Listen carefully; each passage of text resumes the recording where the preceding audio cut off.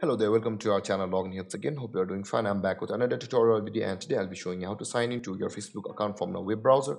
And now without further ado, let's dive right into the video. But before that, don't forget to like, subscribe and hit that bell icon for more videos. Now, to log into your Facebook account from your web browser, first open up your preferred browser on your computer as I have already opened the Google Chrome. And on the search bar, click over there and type in facebook.com like this and hit enter and after that this page will open which is the home page of facebook itself or the login page of itself.